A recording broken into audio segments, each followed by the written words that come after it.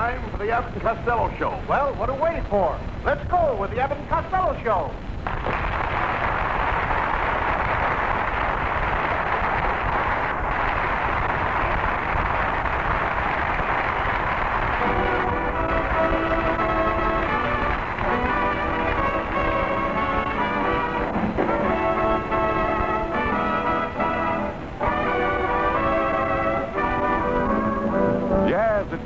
Costello Show, produced and transcribed in Hollywood tonight for your listening pleasure. So hold on to your chairs, folks, for here they are, Bud Abbott and Lou Costello.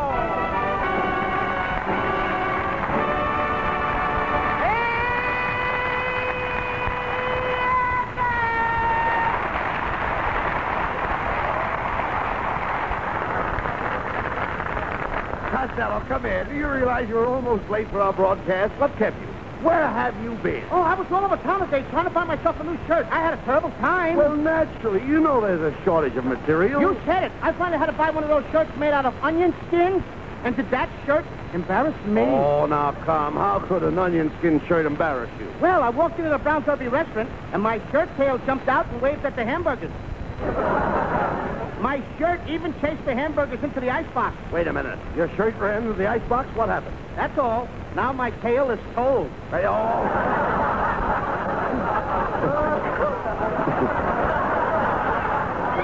Doc, never mind that, Costello. Costello, you mean you kept me waiting here all this time while you were out buying a shirt? Oh, yeah, but I had to get one. I met a wonderful girl today, Abbott. did? Her name is Gertrude Gigglewater. Oh. She's got a swell job, too, Abbott. What does she do? She scrubs the floors in the house on 92nd Street. Eh? You mean you've got a date with her? Yeah, you ought to see her. Beautiful. She's Betty Grable, Lana Turner, Lauren Bacall, all rolled into one. She is? Yeah, but the only trouble is, when I unroll her, she looks like Boris Karloff.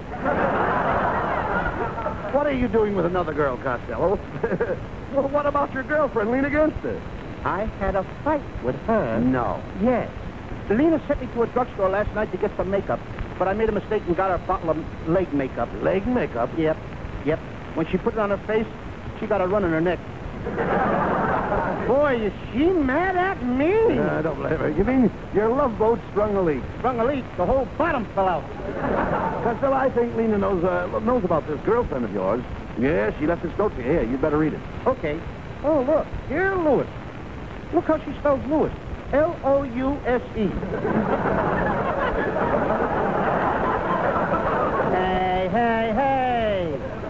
Isn't that louse? You're, you're reading right. Maybe it's Louze. French, you know. How do you spell Louze? Uh, L-O-U-S-E. It still spells louse, don't it? Read Lena's letter, please. Okay. Go ahead. I'll read it. Go ahead. I hear you are running around with another girl. I am coming coming over here, and I'm going to shoot you so full of holes you can button your vest from any angle. Lena wouldn't shoot at me.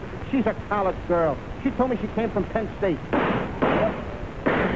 She must have meant State Penn. You dummy, that was...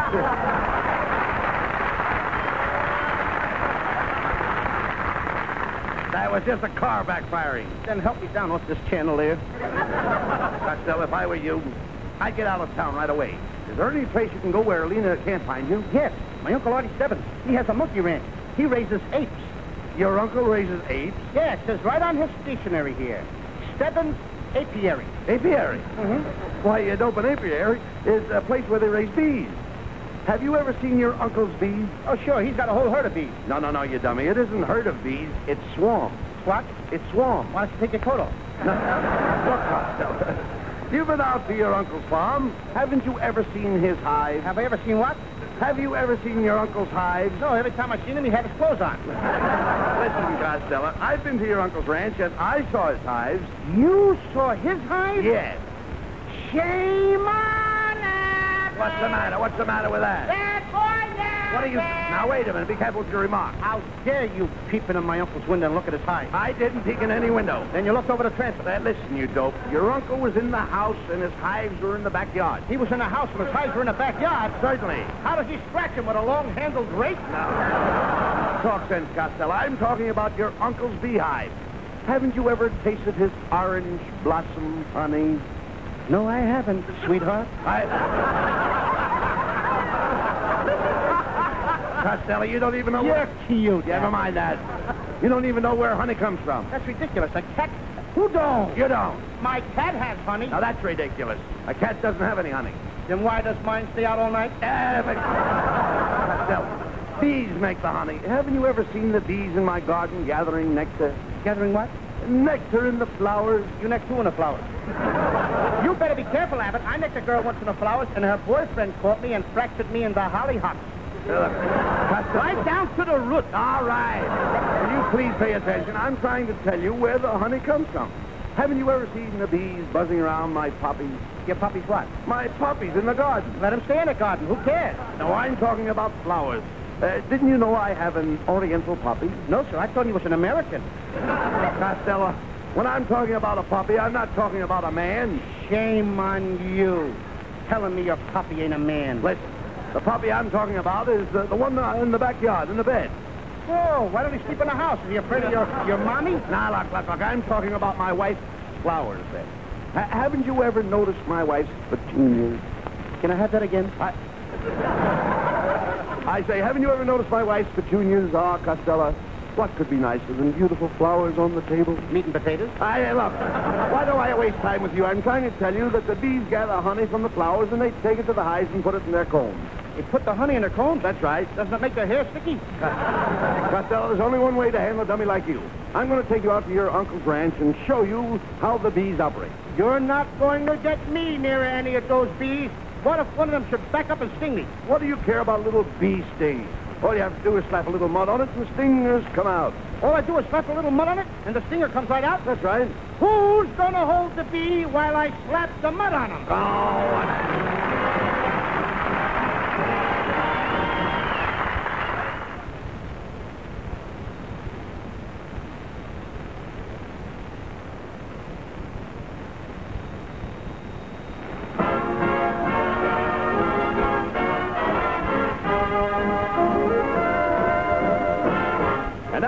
Osborne and the orchestra. Will sings the current swing favorite, waiting for that train to come in.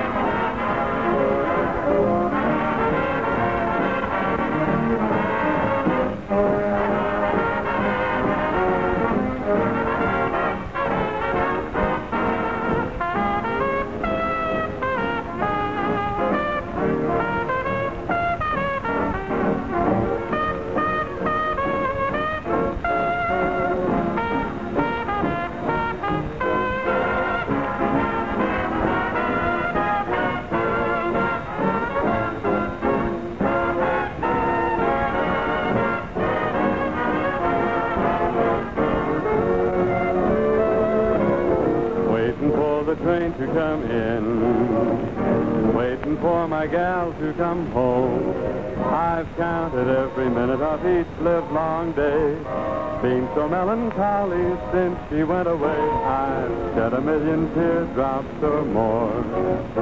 Waiting for the one I adore. I'm waiting in the depot by the railroad track. Looking for the choo-choo train to bring her back. Waiting for my life to begin. Waiting for the train to come in. Waiting, waiting for the train to come in.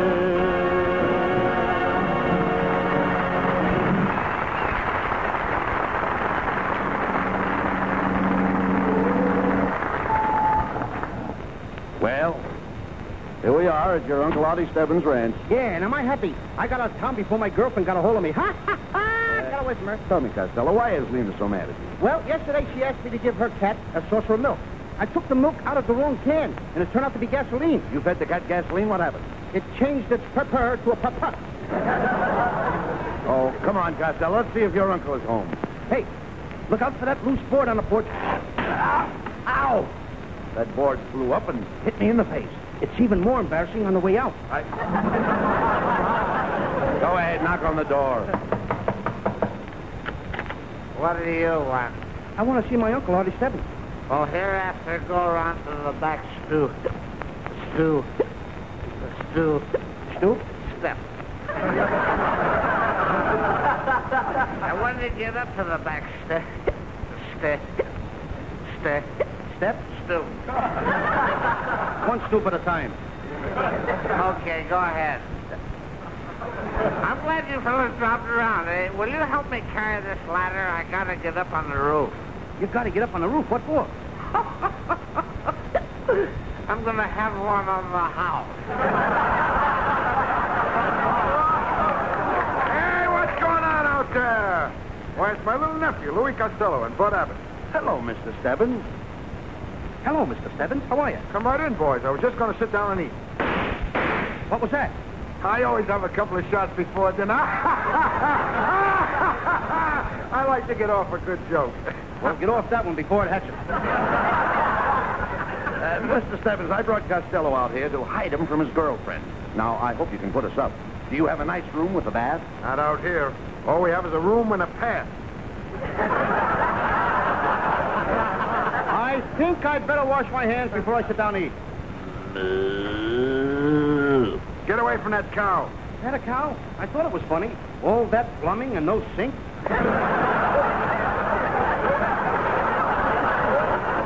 Costello, you dummy. Haven't you ever seen a cow before? Are you kidding? I worked once on a dude ranch. It was so classy that even the cows wore slacks. The cows wore slacks? How did you milk them? I was a pickpocket.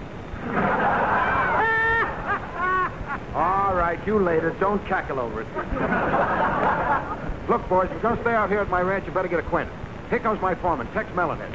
Tex, meet Lou Costello, my nephew, and his friend, Bud Abbott. Hi, boys. All right, everybody works on this ranch. Come on, let's get busy. Hey, wait a minute. I didn't come out here to work. I haven't got the time. Oh, you haven't got the time, huh? Get a load of this Costello. He works in pictures. He's on the radio. He makes thousands of dollars a week, and I got to go out and buy a watch to tell wait him minute, the wait a time. minute. Look, Melonhead, I didn't ask you to go out and buy me a watch. Oh. You don't have to buy me a watch. You want me to go out and steal one, huh? Go I on. ask you to go out and... You Tell him, tell him. That's how I make my living. I'm not a foreman on the ranch. Say it. I'm a crook. I steal. Who's... Look, Melonhead, you never stole anything in your life. Oh, I spent 15 years in Alcatraz for nothing, huh? Go on, while you're at it, tell everybody that I shot a cashier in the bank. Oh, I shot a guy. Start a rumor. I didn't start nothing. Say I shot a man. Go Why ahead. should I say you shot a guy? I swear, Melonhead, you never shot the cashier. I missed him, huh? I was...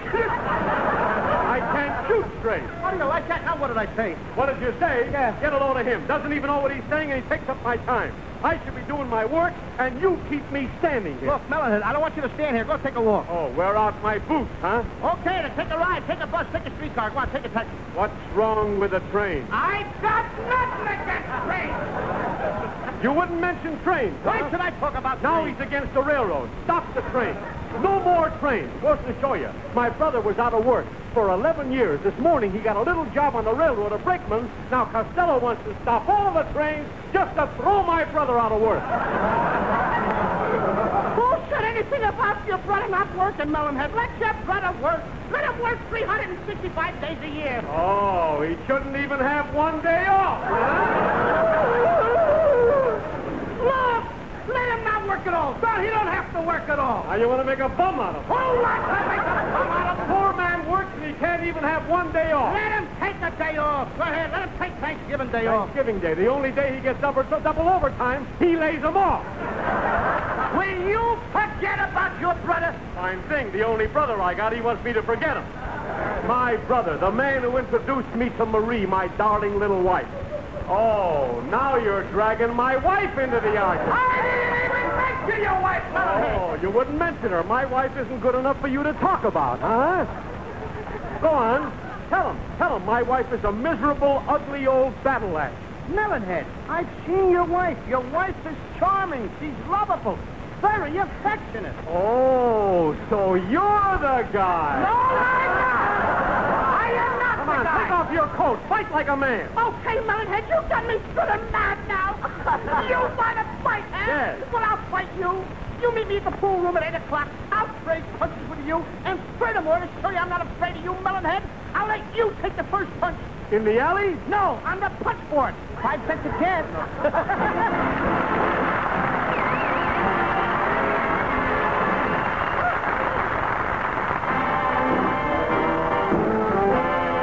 Lovely Connie Haines. That's for me. I saw you standing in the sun, and you were something to see. I know what I like, and I like what I saw. I said to myself,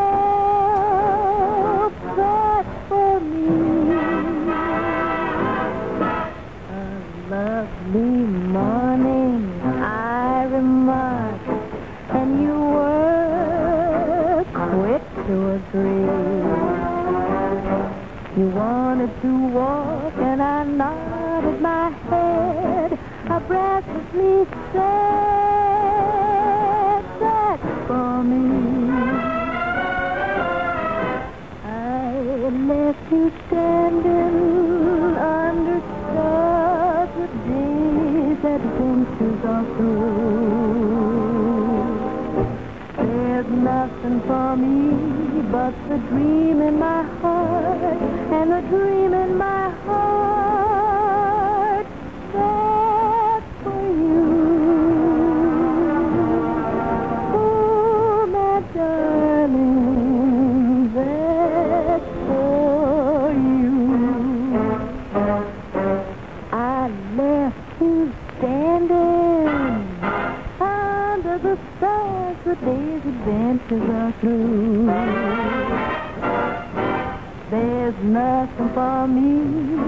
The dream in my heart, the dream in my heart. That's for you. Oh, my darling, I am saying that's for you. Oh, my darling, I am saying that's for you.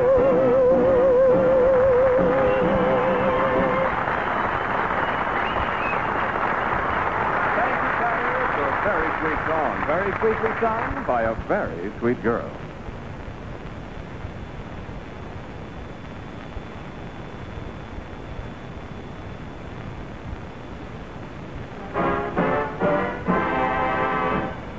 Well, Costello, this is certainly the life. Isn't it wonderful up here at your Uncle Artie Stebbins ranch? Oh, Abbott, what a climate. It is. Where else can you jump out of bed in the morning and fill your lungs with that fresh California fog? Well, I... I'd feel good, Lou. I'd really feel good if it wasn't for one thing. I, I had a terrible nightmare about a flood. All night long I was gasping and fighting for my life against a raging torrent of water. All around me there was nothing but water, water, water. That was no dream, Abbott. It wasn't? No, the stopper come out of your hot water bottle. Right. hey, Costello, look out the window. There's your Uncle Artie Stebbins down there feeding the pigs. Hey, uh, let's get out and watch. Not me, Abbott. Those pigs are vicious. Vicious? Yes, sir. I saw a bunch of little pigs chasing a big pig around the pen. They finally threw him on the ground and tried to chew all the buttons off his vest.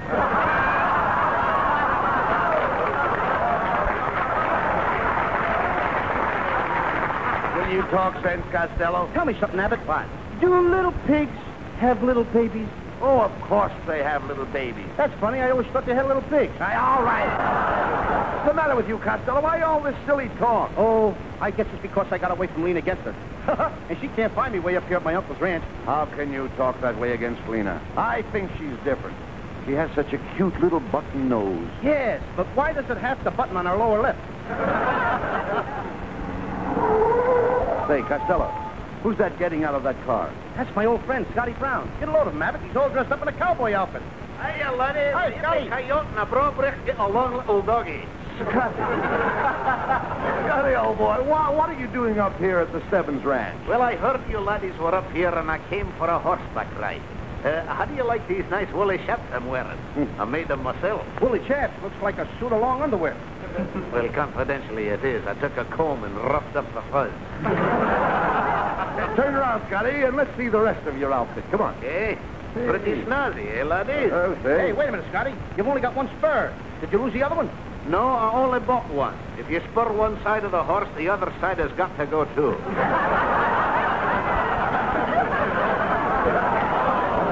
oh, uh, by the way, Costello, I brought a friend of yours up in my car. Here she comes now. There you are, you sorry tank for the fat salvation. Costello, it's Lena. Run for the hills and hide Costello, what's this I hear about you running around with another girl named Gertrude Gigglewater? Are you the kind that has to have a lot of women in your life? No, I like a lot of life in my women. After all, Lena, I'm the kind of fellow that has to have excitement. I have to live. Why? Lena, can I help it if women are crazy about me? It must be the Van Johnson in me. How dare you compare yourself with Van Johnson? I look exactly like him. Where? Between the fingers. Oh. Costello. Costello, please. uh, Why, why don't you tell Lena that you've been a bad boy and throw yourself on her mercy? Yeah, she'll throw me right back on mine. I'll say I would, you dehydrated Andy Devine. I hear you even held this girl's hand. Oh, that was kid stuff. And you also put your arms around her. That was just kid stuff. Then you kissed her. Today, I am a man. Well, I'll fix you, Costello. I'm going to take your engagement ring off my finger and throw it away. Lena, Lena, please don't throw that diamond ring on the ground Why not? because you'll have seven years bad luck.